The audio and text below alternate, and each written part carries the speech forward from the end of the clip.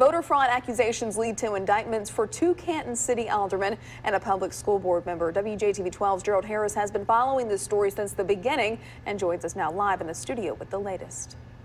Margaret Ann, there are 15 indictments with 25 counts related to voter fraud and were handed down just today. And this is the beginning as more indictments are expected in a few weeks.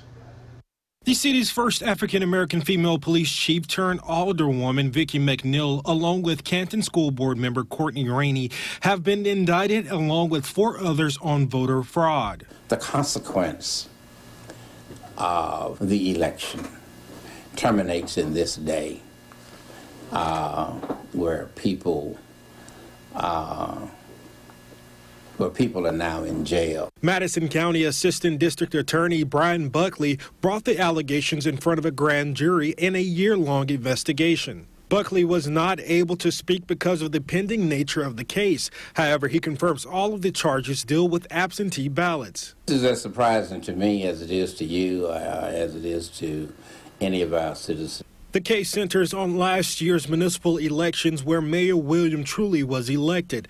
Alderwoman McNeil was on the ballot along with Alderman Andrew Grant. He is expected to be indicted at a later date. I distinctly recall that after the election, the poll books uh, and uh, many of the uh, uh voting books were secured uh, uh, by the district attorney's office, and I think the investigation uh, started then.